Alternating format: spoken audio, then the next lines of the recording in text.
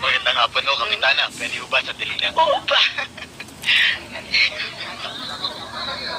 Ma'am. Makinig kayong lahat. Makinig po kayong lahat. Kilala niyo tong si Kapitana? Ang Kapitana niyo?